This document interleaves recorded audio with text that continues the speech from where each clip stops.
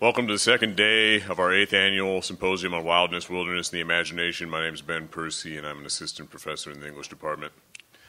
It is my pleasure to welcome Tony Doerr and Rolf Potts here today. They're going, their panel is going to be moderated by one of our all-star graduate students, Lindsay D'Andrea.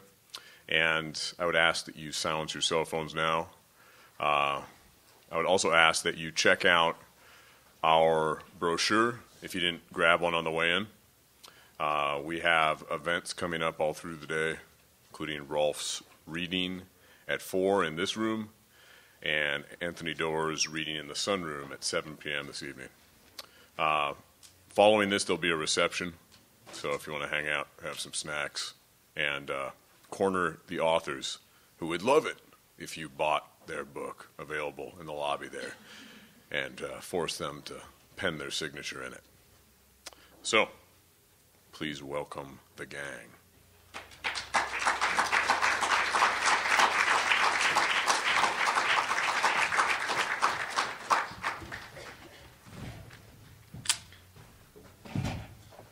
Are you gonna sit here at some point, or you stay up there? I can sit actually. I don't care. I was just gonna sit, maybe read this for you. Yeah, no, take the space. Hi, everybody. Uh, welcome to the eighth annual symposium on wildness and to this afternoon's panel on travel writing. We are really excited and honored to welcome novelist Anthony, Anthony Doerr and travel writer Rolf Potts, who are here to share their experiences in storytelling from rarefied regions of the world and the human imagination. This world is at once growing smaller in some ways and larger in others. Growing smaller with the interventions of technology and growing larger as global economies continue to separate certain ways of life from others. As our world changes, an element that has been preserved is that constant pull toward escape, that desire to understand, to read about, to, to travel, and to write about parts of the world that seem to live outside of our imaginations. Today, we will hear, hear from two different perspectives on travel and place, two modes of understanding our world, and how we approach all of its corners in writing and on foot. From this panel, we hope to learn a little bit more about the role of place in storytelling, both fiction and nonfiction, and what it means in our global world to read the familiar and the unfamiliar, to explore the less traveled within the widely read. As Ben said, my name is Lindsay D'Andrea. I'm a student in Iowa State's MFA program for creative writing and the environmental imagination, and I will be moderating today's panel. There will be some time at the end of the panel discussion for audience questions, so if there's something that isn't covered here, um, make a note of it and you will have time to ask it at the end of the panel. Before we begin, I just want to introduce a little bit more about our panelists. Anthony Doerr is the author of four books The Shell Collector, About Grace, Four Seasons in Rome, and most recently, The Memory Wall. From Montana to Liberia, Idaho to Norway, Doerr's short fiction is widely known for its scope, spanning several continents, covering a diverse range of subjects, and featuring all kinds of different characters and their unique stories. He has won, among a long list of others, the Rome Prize, several fellowships, the National Magazine Award for Fiction, two Pushcart Prizes, and the 2010 Short Story Prize. In 2007, the British literary magazine Granta placed Doerr on its list of 21 best young American novelists. He also writes a regular column on science books for the Boston Globe. Rolf Potts has reported for more, for more, than 60 countries for the likes of National Geographic Traveler, The New Yorker, Outside Magazine, and The New York Times Magazine, among others. His adventures, spanning six continents, include piloting a fishing boat 900 miles down the Laotian Mekong, hitchhiking across Eastern Europe, traversing Israel on foot, bicycling, bicycling across Burma, and traveling across the world for six weeks with no luggage or bags of any kind. Rolf Potts is widely known for promoting the ethic of independent travel, as in his acclaimed book, Vagabonding. His, new, his newest book, Marco Polo Didn't Go There, became the first American authored book to win Italy's prestigious Chatwin Prize for travel, travel writing. So, with that, um, I'd like to open the panel with just a start of origin. Um, what draws both of you, or what, what first drew you to the idea of travel, both in reality on foot and on the page? and to telling stories from these sort of different kinds of locations. You want to start off? Sure, yeah. Is This working? Hey, thanks for coming, everybody. Um, what drew me to travel? Uh, I grew up in a place maybe a little bit like Ames. I grew up in rural Ohio, about an hour east of Cleveland.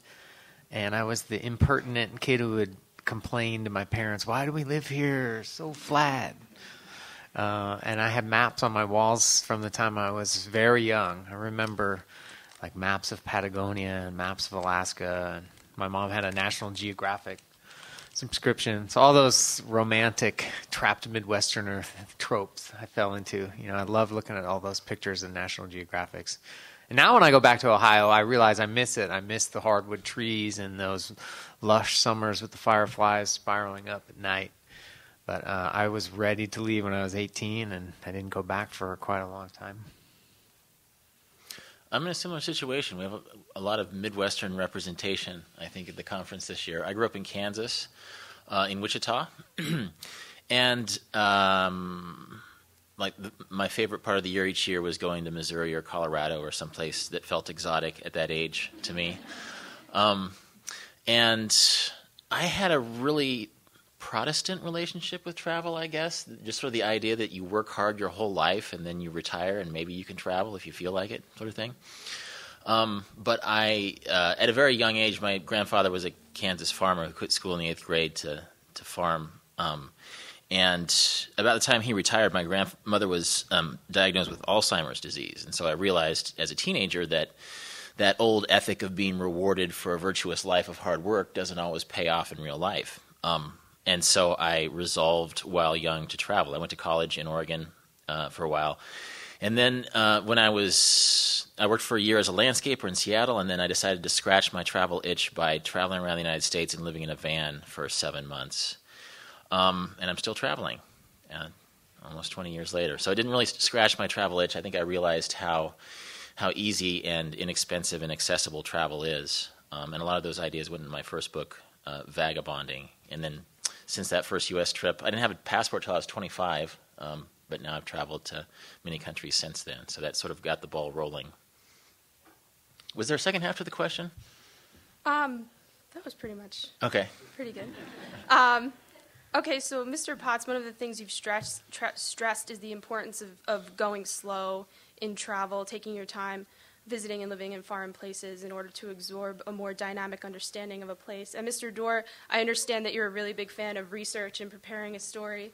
Um, and I was hoping that you could both speak a little bit about the necessity of absorbing um, and connecting to a place to generate these strong stories, whether fiction or nonfiction.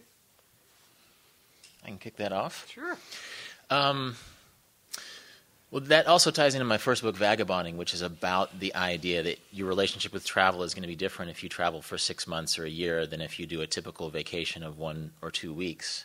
And Tony and I were talking. He, he asked me the great question What do you do when you get sick? Or how do you deal with bad food on the road? And my answer was sort of it depends on what kind of trip I'm on. If I'm on a two week trip to Southeast Asia and I get malaria, well, then it's going to ruin my trip. But I've had malaria twice in Southeast Asia, and I wasn't I was just there indefinitely. I didn't have a plan to go home, and I just got over my disease, and it became a part of my experience, uh, and I moved on. Um, it's also from from a narrative standpoint, from a writing standpoint. This is another thing we were talking about at lunch. Um, how often the traveler experiences other countries, but within the tourist ma- matrix, which sort of reduces you to the role of a consumer. Um, and I think the longer you travel and the slower you go, the more you can get through that uh, that sort of consumer dynamic of travel. Um, and I think that's the reason why so many, so much great nonfiction and fiction about faraway places comes from returned Peace Corps volunteers, um, which includes like Bob Shacochis and Paul Theroux and Tony D'Souza and Peter Hessler. It's because they, they've, they've broken through that veneer of, of tourism. They've learned local languages and they've understood place, places at an intuitive level. And so I'm not saying you can't write about a place that you've only been to for a day or a week, because many of the stories in my newest book are about fairly brief encounters. But at that level of encounter, you almost have to acknowledge your role as an outsider and someone who might be seen in that in that sort of consumer role as guest. So I'm, I'm, I'm sure it has a different dynamic for a fiction writer. Um, yeah, it does not it doesn't. Um, I've kept a journal uh, ever since I was 16.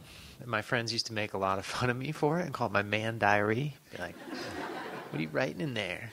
But it was never really a place to just like complain about Susie dumping me in 11th grade or something. It wasn't as so much about myself at all as just a place to practice translating the world into sentences.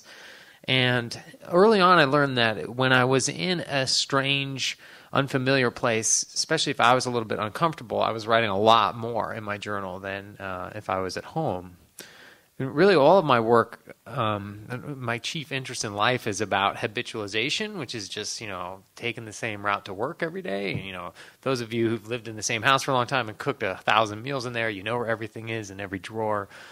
And I'm interested in seeing those habits not necessarily shattered, but uh, shaken up a little bit. You know, it's like when you rent a house and you get there in the dark and you've got to cook a meal. It's a much more intense experience, and that's how I feel when I'm in a strange place, especially if people around me aren't speaking English.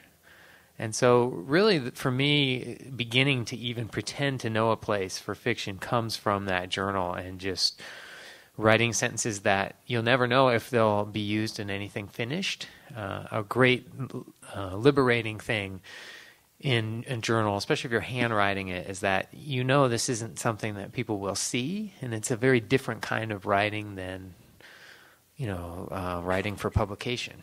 Uh, and even if I'm doing a travel piece, which I've only done a few nonfiction travel pieces, uh, you know, I still keep a journal uh, in addition to the notes I'm taking for for a magazine. Um, just because you know it's free, you can your sentences can be crappy, and you can uh, write about the way a tree intersects with the sky for as long as you want. You know, you don't have to worry about it. the readers of the New York Times getting super bored. So, uh, for me, uh, beginning to absorb a place starts with being going slow and looking at it and trying to translate it into sentences. And you know, if you're interested in writing, just start doing that in airports. You know, play little games with yourself. You know, you can make up stories about people. You probably already do that in your head. You know we, we have so many distractions and increasingly uh, great ones like Downton Abbey or something, you know, we were just talking about. But uh, it's important to also slow down and just have a notebook that doesn't also have Scrabble on it or something, you know, and write, write with your hands and ink. Okay, thank you. Um, moving on to, to this idea of, of story, both in, in fiction and, and nonfiction, when you're, when you're traveling – and you have these sort of experiences or when you pick up on some information that, that you feel might, might work really well for a story, what is it that sort of tells you that, that these stories are the ones that, that you want to start with, that you want to tell?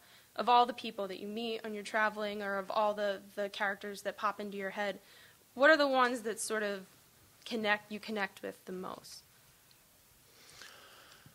Sometimes uh, it's something you know immediately, and sometimes it might not occur to you until months later when you're sitting down at your desk. You know which which parts of a travel experience uh, resonated with you the most.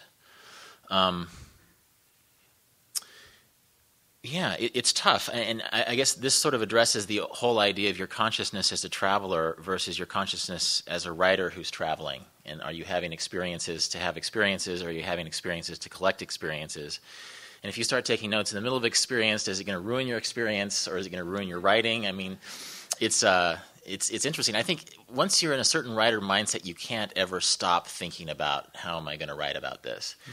and you don't want to sort of prostitute your consciousness constantly towards the act of writing because you want to have something spontaneous and, and, and true going on. But I, I think also the writer's that writer's consciousness can al- can also challenge you to do things and engage people in a way that you wouldn't normally. Again, going back to the consumer level of travel, where you're sort of receiving experiences and, and comfort and new sights as opposed to experiencing them. Um, so I'm trying to think of, of specific examples. Um, well, like in my latest book, I have a story about this really eccentric guy in uh, in Beirut who was so friendly and so overwhelmingly hospitable that I named the story "My Beirut Hostage Crisis." I just couldn't. He, he was so nice, I couldn't get away from him. I, I, I knew immediately that I was going to write about him, uh, and the, one of the biggest challenges was just because he was so flamboyant. Actually, if you come, I'll, I'll touch on this in my reading. Um, he was so flamboyant; it was a matter of what not to write about him because uh, lesbian Lebanon is a very serious place Um, that wasn't even a Freudian slip. He was a dude.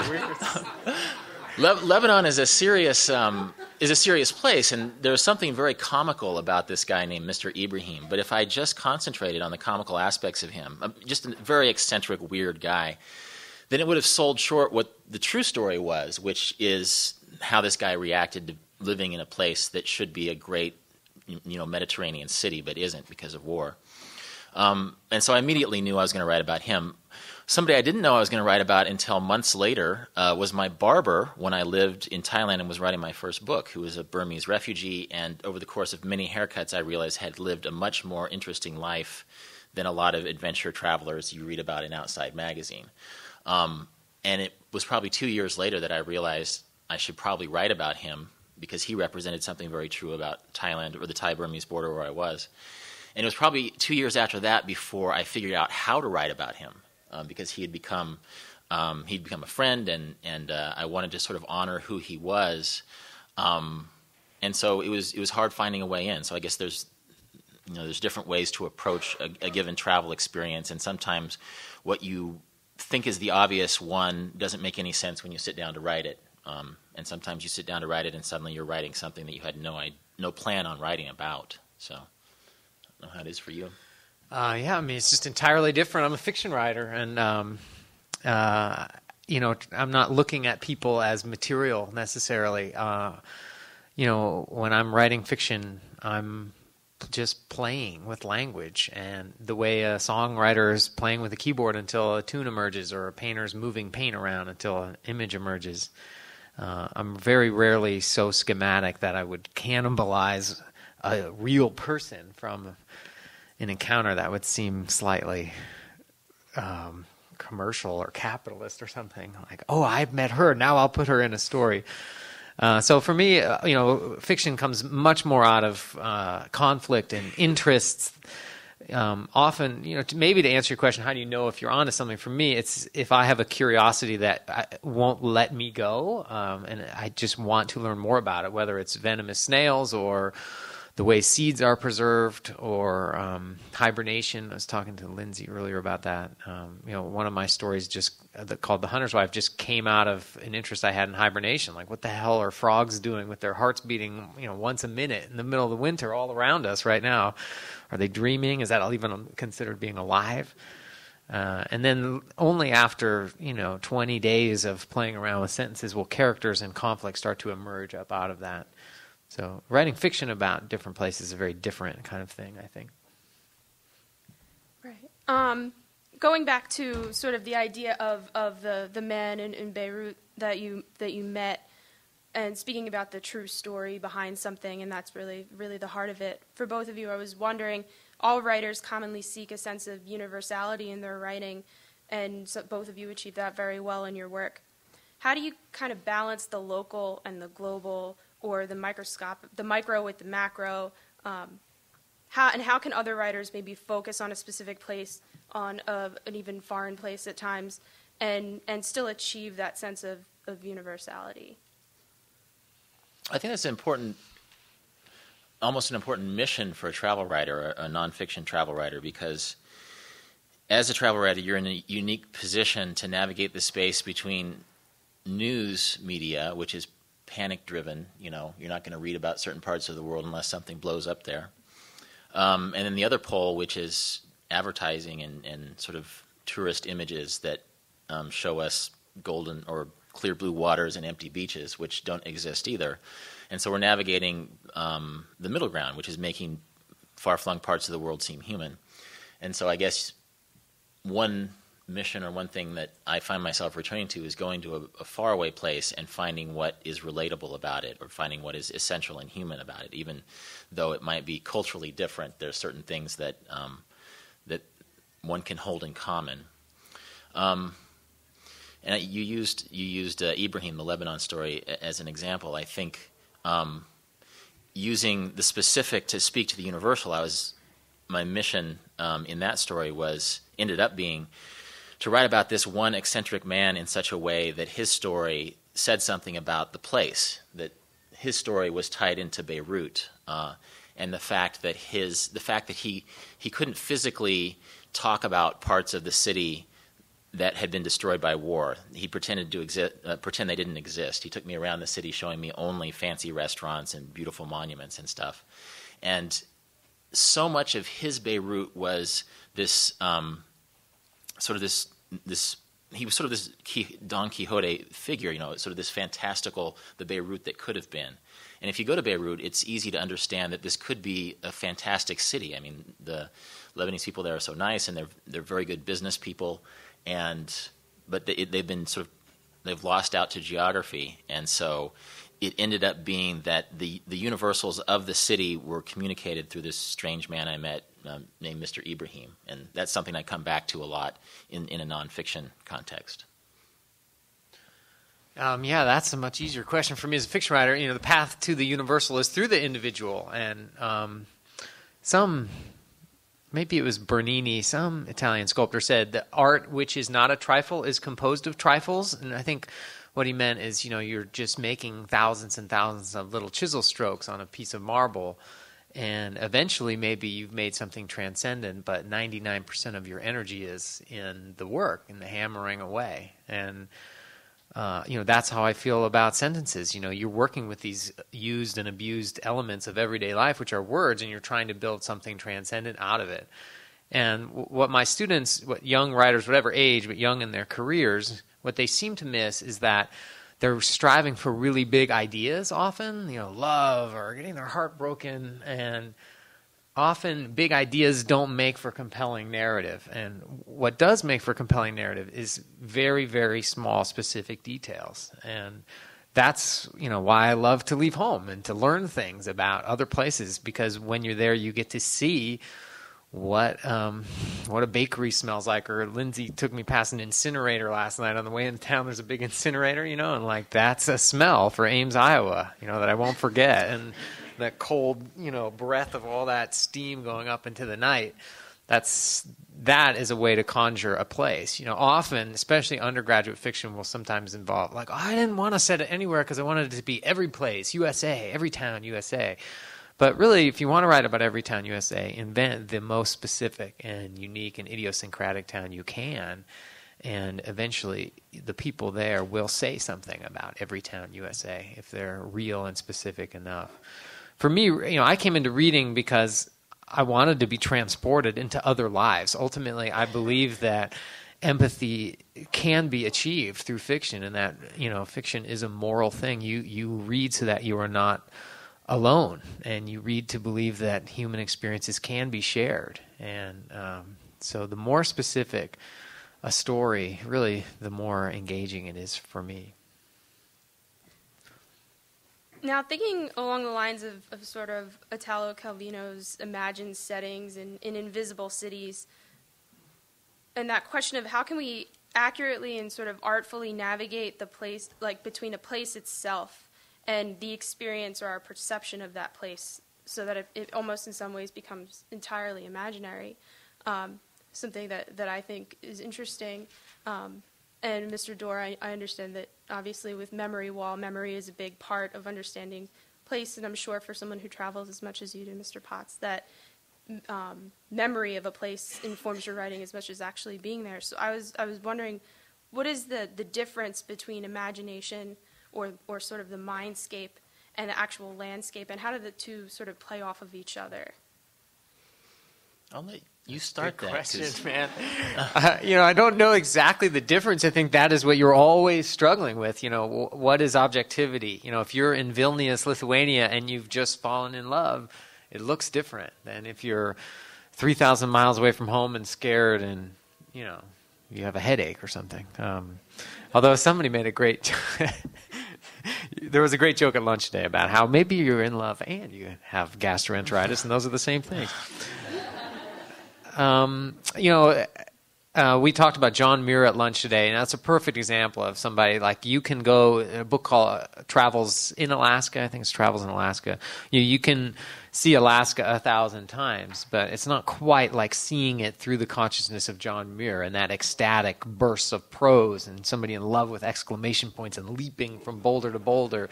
And you know, some people get tired of it, but I don't. I'm just like, oh, ecstasy for twenty thousand, you know, pages of John Muir. That's great. I'll take it. And so you can't separate, of course. And I think it's maybe um, a fallacy to even suggest that you could write an objective story. It would feel dead. I mean, the, the eyes of the person through which you see a place, whether it's a fictional character or Rolf Potts, you know, that determines what you're seeing. And that's that's the joy. Like I said, reading is transportation, and that's what I want to be. I want to be transported into other worlds and other eyes and other minds. Well, one reason I, I kicked that question to you is that you do an interesting job in Four Seasons of Rome of talking about difference, of talking about being new to a place and how newness makes a place um, feel alive. And like old habits, you can actually learn things about your home by suddenly listening to sirens in Rome, or you know, trying to find the screen on a window that doesn't have Yeah, screens. trying to flush a toilet or buy bread or buy diapers. Those things are more Exactly. challenging if you're in another country. Exactly. So those are details I think that you, or, or yeah, things that you brought out very effectively in that book, and those are encouraging words for someone who wants to go to a new place and write about those places because I think sometimes fresh eyes um, are as legitimate as the eyes of locals or the, the eyes of habit. Uh, and there's people who live in New York or Ames or Rio who have stopped seeing their, their own city, you know. So um, just because someone has invested uh, half a lifetime in a place doesn't mean that they are an authority on it because odds are they eat at the same restaurant every week and they have stopped seeing their own home in, with the eyes of a traveler. So, um, one advantage of of, um, of of using travel as a way to see places, including your own home, is that it, it gives you those fresh eyes that I think are as important as deep as deep research. Um, and I, I think you should one shouldn't do it at the expense of deep research. I did a, another chapter in my book is about Australia, and I had a lot of very fresh insights um, um, of what what was happening to me at, at each moment and, and what was new about that. But I knew that Australia is a place. I was traveling in Aboriginal parts of Australia, and I know that that's a very politically loaded um, thing to write about in Australia. And so I realized that despite the conclusions I had made and the things that I had seen in the fleeting time I was there, that I was going to have to go back in the writing and really learn a lot about the history and the and the politics of of Aboriginal life in Australia, lest it end up being a well observed but very naive essay. So, um, so I guess there's a balance, but but just you know, adding on to what I was observing about uh, Tony's book about Rome is that fresh eyes count for a lot, and that even those simple differences uh, can make a place uh, come alive in writing. It's true. I mean, if those of you who like the novel Lolita, I mean, those are fresh eyes on the English language in a sense because he didn't grow up with all the patterns and habits and cliches of an English speaker. Uh, so that's what I mean by habitualization, you know. And I'm hard on my students who resort to cliches because I feel like you know when you resort to a cliche, it's one small but significant failure to your work. You know, you're sleepwalking through a sentence. And you know, I'm interested in writing because I don't want to sleepwalk through life. I feel like we have a very, very, very appallingly brief time on Earth, and we're here to see as much as we can and understand and do as much good as we can before we're gone. And you know, when you go see Spider-Man 15, which I will do, I'm sure, you know, you're you know everything that's going to happen in that film. You know that structure, that pattern is a habit. You know that a white lead will kiss a white female lead, uh, you know, four seconds before the credits, and you can predict everything else that will happen in there. And sometimes it's fine. You're tired. You know, you had a long day uh, it's okay to expect the familiar and pay nine dollars for it. But there's also something to shaking up your life and uh, you know challenging yourself to see things in new ways and force yourself out of the habits. Whether it's a simple decision as today I'm going to walk a different route to the union, or you know today I'm going to bring my mother into my dorm room. You know that changes the way you see familiar things very quickly. Uh, you know those little decisions during the day can really make a difference and that's what i mean by cliche using cliches in sentences is a small failure While we're talking about sort of seeing all that we can while we're, while we're here. Going back to that first question about, about origins, home has come out, up actually several times in this panel. Um, I was wondering, despite all the work that you do, the different um, countries that you write about, the different places that you write about, sort of what is what is the tension, or is there a tension in the idea of home when you write about other places or when you travel to other places? Um, and how does home or the idea of home influence your craft? You want to start it? Sure. Um, home has changed quite a bit for me since I had kids seven years ago. Uh, home is a real thing for me, and um, it changes everything about travel, not just your writing. You know, you feel a little sick and sad if you're gone for very long, and uh, you feel guilty. And um, home is a lot more important and fun place to be when you have children. Um, in terms of work, you know, often the work I'm drawn to the most uh, is work that involves some kind of spatial tension. In fiction, somebody is somewhere, but they long to be somewhere else. You know, you give a character in Milwaukee, a lover in Jamaica, and suddenly there's spatial tension. There's a, a uh, dialectic set up between, in that sense, also between tropical and Milwaukee, uh, which is about as different as you can get. But also, you know, that somebody, there's desire implicit, that somebody longs to be somewhere else. And that's what good fiction comes out of, I think, is desire, you know, longing, striving against your current situation. I thought a, a couple different things came to mind. One was this 1977 New Yorker article about querencia, which somebody just forwarded to me, and I'll probably misquote it exactly, but querencia is sort of an affection for home. Um, it's a Spanish word that sort of gives you a sense of place in the world. That by loving and knowing a specific place, then you have a context to appreciate other parts in the world. Um, and I forget what they mentioned in that story. I, am thinking that they mentioned um, like Conrad's knowledge of London helped him understand the Congo, but then I think he's another second language writer. Um, and so, uh, to me, I, I, recently got a house in Kansas, and I think that has helped.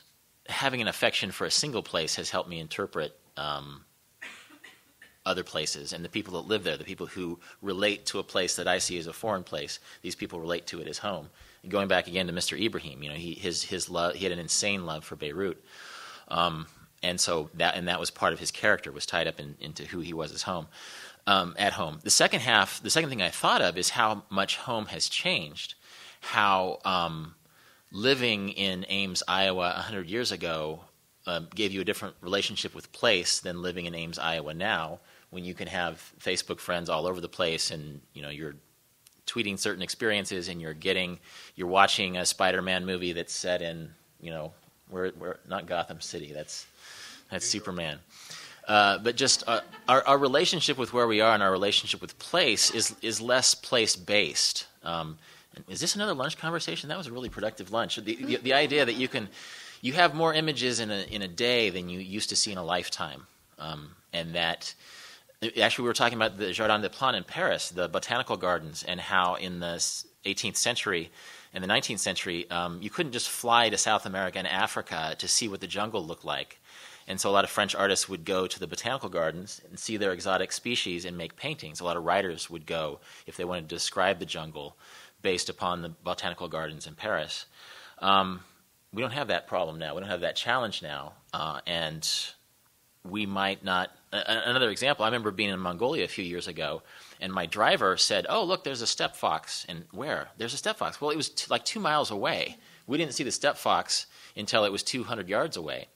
Well, he sees the landscape in a different way. You know, we we we see in an urban sense now, and we navigate life um, in in a context that's full of people and things and images. Whereas someone who had lived a more pastoral life in Mongolia, he'd probably be overwhelmed in a city, but he can see a steppe, a steppe fox when it's two miles away. So that was the second thought I had that we are experiencing home in different ways in, in 2012 than we did in 1982 or 1882. Yeah, it's so true that technology in some ways can get in the way of really experiencing a place, especially if you're missing somebody back home and you're on your phone a lot. You can go through a day in Florence and still half of your whole soul is in Iowa, you know, and that is a blessing and a curse all at once.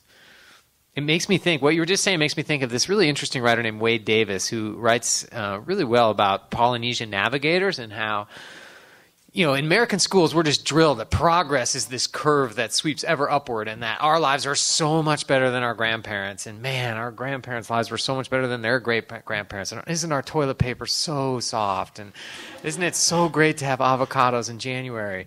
And, th- those things are a miracle, but um, you know, I remember when we we lived in Rome for a year, and you know, walking through the Forum, you would overhear tour guides say, you know, notice how the masonry gets better the deeper we go. That like literally we've lost a lot of skills in the in the Pantheon, in the roof of the Pantheon, which is the longest still standing structure with a roof in the world there's cement 2100 years old in that roof that we still don't understand exactly how it was mixed you know like the men women may be mixing that cement uh, you know we had skills that we've totally lost. Wade davis writes about these navigators who would be able to tell they grow up basically in canoes. They're at sea much more than they're on land and they would be able to tell if there are islands coming, even though you couldn't see them with the naked eye, just by the patterns of waves around them, that they could tell how far away they were from land. And that's how they managed these unbelievable crossings, you know, 4,000 miles of ocean in an open boat. So, uh, you know, I do get nostalgic for that sometimes. You know, my sons, I try to teach them about the weeds around the house, but often I run up against the limits of my own ignorance. You know, I'm like, I think this is an invasive species, but maybe we shouldn't pull it. I don't know. they're like, can we go play Super Mario Brothers, Dad? Jared Diamond talked about that in the context of mushrooms in Papua New Guinea. You know, that people who live there knew more than a scientist would ever know about mushrooms because they'd grown up knowing exactly which ones to eat and which ones not to eat. And just since you mentioned toilet paper, um, the, even the idea that soft to- toilet paper is the best way to clean yourself is a culturally uh, relative statement. I mean, you go to India and people use water, and if you say to them, "Why do you use water? That's gross," they'll say, "If you had dung on your face, would you wipe it off with paper or would you wash it off with water?" And it's like, "Oh, okay." So, you know, I, those are the very basic relationships that travel can completely transform your relationship with Charmin, you know. So, um, uh, it, I guess it's just another example of how your home you can see your home through a different lens. You it's know? so true. Yeah, and when I was 19, I spent seven months in Kenya and Tanzania, and I remember coming back and all I really had to drink there was tea, beer, or Fanta. They had like very delicious Fanta there. And I came home and I remember going in the convenience store and just seeing the drinks. That was like before even Monster Energy drinks and Red Bull took over the convenience store. And I'm just like, we have so many drinks in America. You know, something you would never ever realize. Like, why do we need 17 flavors of Gatorade? Thank you. Um, just one last question before we, we go to the audience.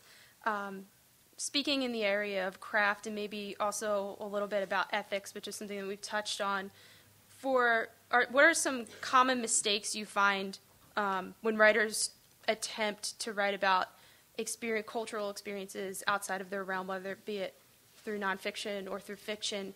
Um, what are what are some ethical problems in that, or, or some complications that come up? Um, and how do you how do you remain truly faithful to a place that you're writing about? Well, that's that's a question that's dogged travel writing since there's been travel writing. Um, simply because it's harder to fact check a story when you can't fly to some place or you don't have an internet connection. And travel writing has had a bad, and I'm talking about nonfiction travel writing, has had a bad reputation since the beginning because there's no way to verify that the tribe of Africans who had a giant lip that covered their head in the sunshine existed, or the race of men who hopped around on one leg or the, the giant delicious bean that was as big as your forearm and tasted like honey. Well, that that third one is something Marco Polo talked about, and people made fun of him for it when he came back. But he was just describing a banana, right? So, um, travel writing has always sort of existed in the haze of distance and it's only recently that it's another thing I write about in my book. It's only recently that um, you can write about uh, somebody in Ethiopia or Cambodia or Paraguay, and then they can read what you wrote and say and call BS on you, right?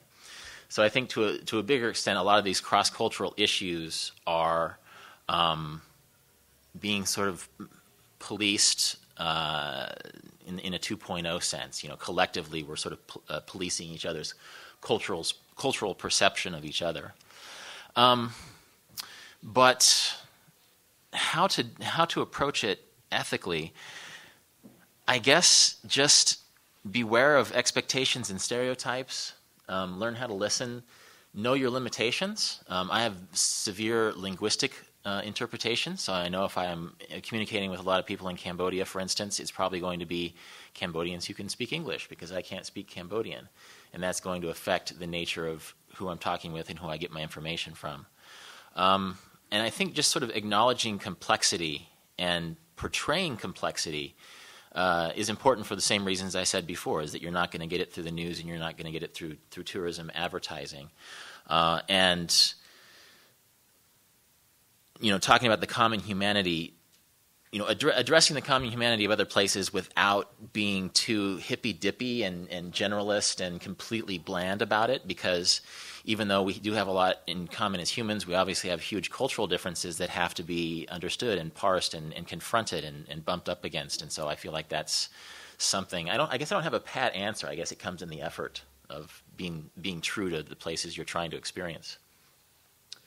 Um, yeah, in terms of fiction writing, you know, it's all a matter of degrees. You know, I mean, you have to claim a lot of cultural knowledge just to write a story set uh, in your neighbor's house. You know, I mean, there's a lot about that family's culture that you don't know. Uh, I just tell my students to not let the write what you know advice. Have you guys all heard that advice before? Write what you know.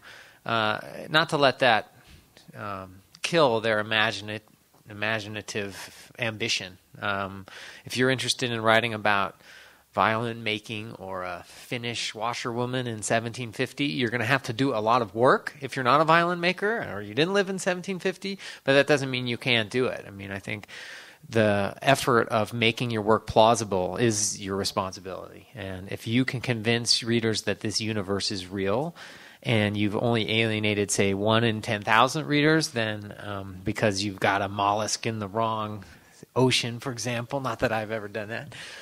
Um, but you know, occasionally, uh, if you slip on a detail, that's you know that's you're a small failure of responsibility. But um, as long as you're a responsible researcher, I think you should try. Okay, thank you both so much. Um, I'm sure that we've only skimmed the surface of, of everything that, that these guys want to share with us. So um, I can open the questions to the audience now if anybody has any anything pressing that they, they feel they would like to ask. Yeah. Um, you mentioned deep research, and I wondered if uh, either or both of you would like to comment on uh, maybe less usual or interesting example of deep research that you may have resorted to.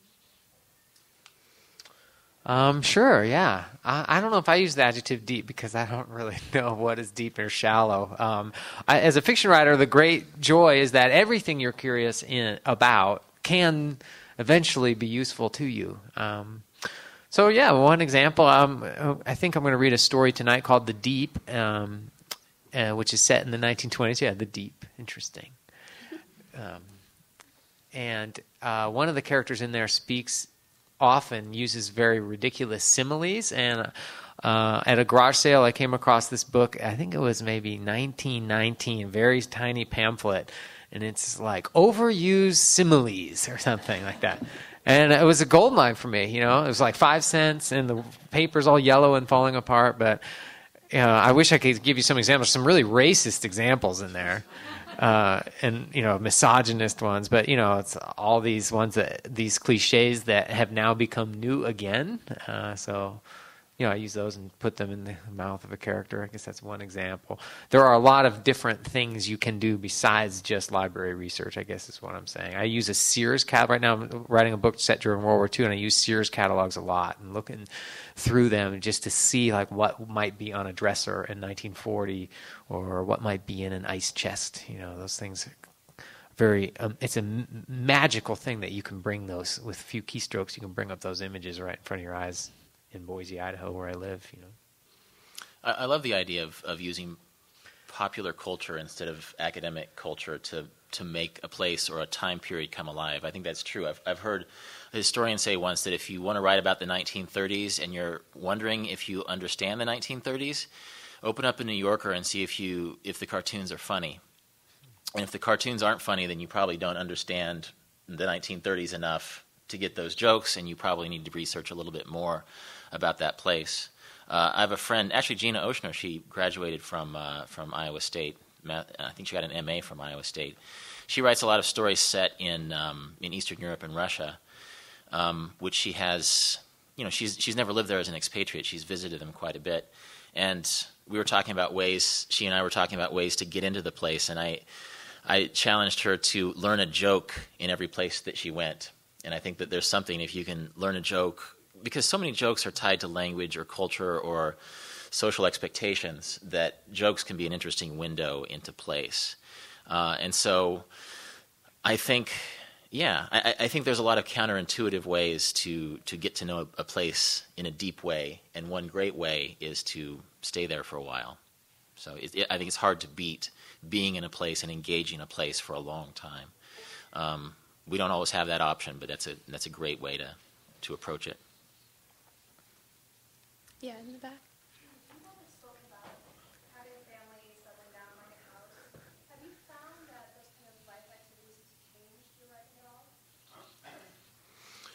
Well, you have I have a house, but you have a house and a wife and kids, so I'll let you start. Um, they've changed the means by which you do your riding. That's for sure. You have to be a lot more efficient when you have two little kids sprinting around everywhere.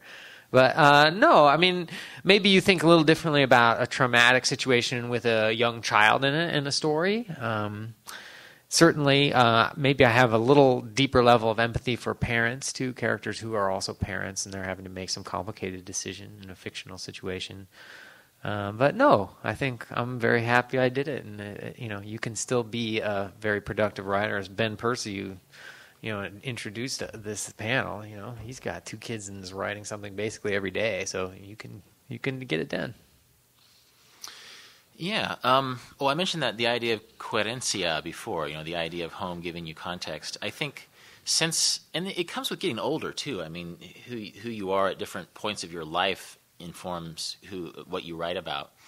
But a lot of what I wrote about early in my career, before I had a home, before I had that querencia thing to come back to, there was a lot of fish out of water type first impression things, and I think now I'm I'm entering more into. There's more context in my writing. Um, there's actually more of myself in my writing. My, my, writing is getting more personal in some ways. I'm, I'm coming into my writing in ways that it, it didn't used to. Um, and so yeah, but I think that's that's tied into like very few 21 year olds own a house, and so or or are married with kids, and so it's tied into your age and your life stage situation. I think it's good. I think we travel differently, and we as, just as we write differently in different stages of life. Um, and and to just adapt and keep trying. And then yeah, I have a lot of respect for you guys with kids. And I have two nephews, and I can't imagine how you can create time to write but uh, but like you insinuated, it informs your writing. You suddenly understand at a gut level what it's like to be a, a parent, for example. Yeah, I mean, if you really want to be productive, just get a mortgage, and then suddenly you have to be productive. Sometimes incentive is good. Any other questions? Yeah, Deb.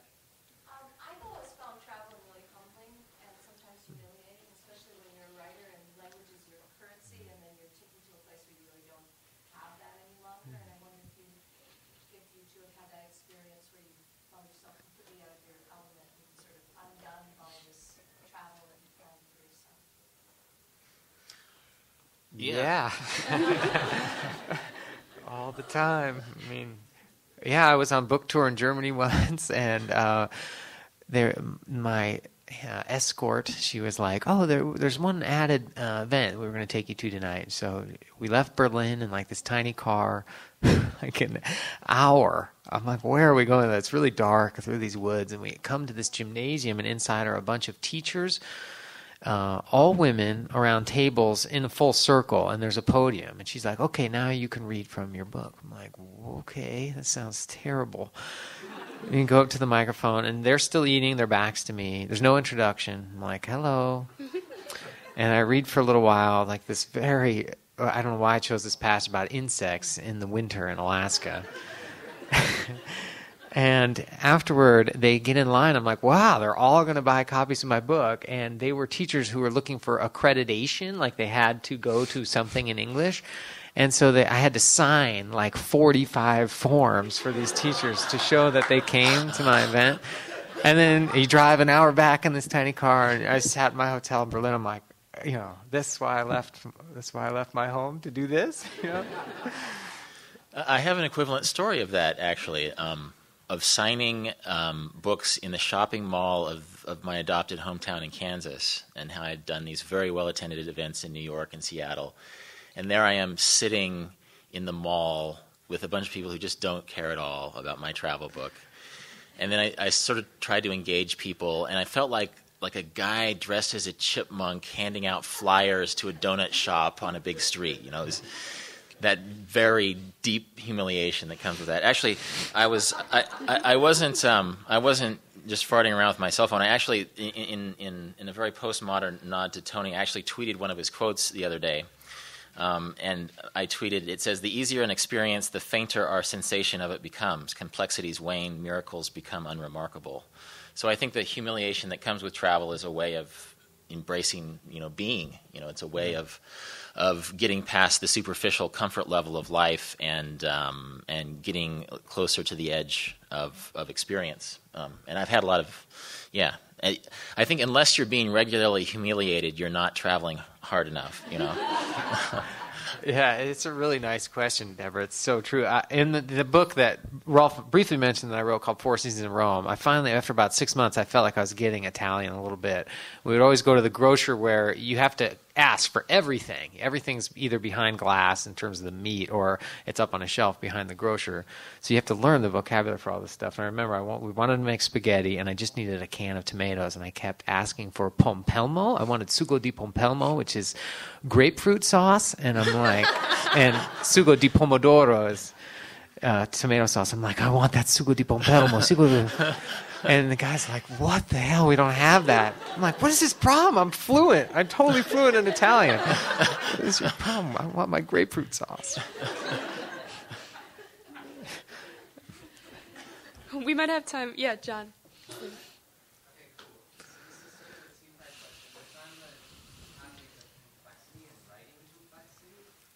Um, so the first part is when you talk about the issue of being an outsider in a new place and being able to write that, you know, write what you don't know and acknowledge like the empty space that you can't quite fill as an outsider. And I wonder if, if you've had similar experiences, especially in recent years with like rising fuel costs and climate change and those kinds of things, like the ethical implications um, for us because we need these voices, right, to help bring the world to us. But you're like that, you're also sort of like implicit in um, all these, you know, all this mileage.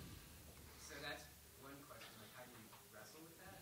And then the other question, which is also about complexity and complicity, maybe, um, is I have a friend who's writing about a landscape that she doesn't want more people to go to because it's very crowded, you know, there are too many people there already.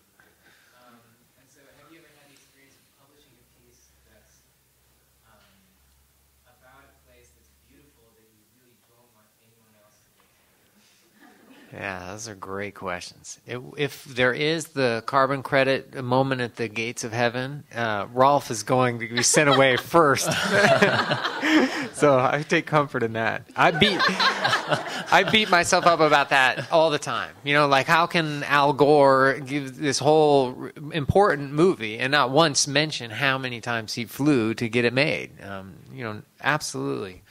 Uh, the one thing that's very paralyzing, though, is living in a state of guilt all the time. And so lately, my wife and I are just trying to acknowledge the things that we are doing in terms of composting and biking to work and small decisions and being realistic about the impact that we have versus, say, the United States Army or, you know, the Pentagon uh, every day or Disney World. Um, so yes, I feel very complicated feelings about that, and you have to believe that your work um, is exposing enough um, people to these morally complicated questions that it's worth it. It's worth it ultimately. But yeah, it's a in terms of the fossil fuel question, it's a really good question. Do you want to talk about the other one or that one too? Well, um, I will say traveling slow is a nice way. Is is I guess a more sustainable um, uh, way to travel in that regard. Whereas traveling, taking one flight to Asia and traveling overland for a year is going to be a lot less impact than your average business person has. You know, commuting. I mean, train the planes are the new buses, really, um, or the new trains. That it's just um, flying is a very banal week to week thing, and, and people fly all over the United States. Um, and so I think it's easy to, to pinpoint tourist travel, but I think business travel, you know, can rack up. And I, we both flew here um, can rack up uh, as much uh, impact. And uh, one nice thing about uh, slow travel too is even econ- economically, you'll be going on bus lines and train lines and staying in, in, in hotels that are owned locally, and and um, you'll you'll be learning and reporting back about maybe ways that some people live more sustainably. Um, as far as finding a place that you love and being afraid to write about it, that's that's tough. It's it's a question that comes up a lot. Travel writers deal with it a lot, and um, remember that movie, The Beach, that Leonardo DiCaprio movie? It was a, it was a book before before that. It sort of it deals with that very question of, of an idea that it, it sort of deals with the idea that places are spoiled when other people show up. That that it's okay to be a tourist until people who are exactly like you start showing up and start reminding you just how awkward and dorky you are in this beautiful place. Um, and uh, that's why I'm a big proponent of um, just making it very, very personal and, and knowing what you love about places because, um, sure, there's there's a level at which um, beautiful white sand beaches or um, very beautiful stretches of rainforest or something are run the risk of being overrun. But that comes sort of in the consumer sense, I think. If you if you travel in such a way that you're finding personal resonance instead of general aesthetic resonance in places, then probably the places you fall in love with are so personal that it's not really something that you're going to s- sell out. You know, like I've fallen in love with Saline County, Kansas, having lived there, and I doubt there's going to be a tourist crush no matter what I write about Saline County, Kansas. Um, so yeah, I, the great thing about your question is it's hard to answer definitively. You know, it's it's tied up in how we in how we live these days. Any other thoughts? About, Uh, I have some. Some of my closest friends are. Uh, once a year, they do a pilgrimage to Belize and fish for permit, which is for a fly fisherman is the ultimate catch. Like if you catch two permit in your life, you've had a very successful life. And uh, they um, they are very reluctant for me to ever go with them for just that reason. And I totally understand that. They're like, you know, you can't ever write anything about this. And so, you know, I get that. I have friends who put like warning rattlesnake signs all around their favorite fishing holes in Idaho, you know, for the same reason. So I get that proprietariness of place for sure. Okay, well, it looks like we're out of time. Um, thank you so much for sharing your perspectives with us.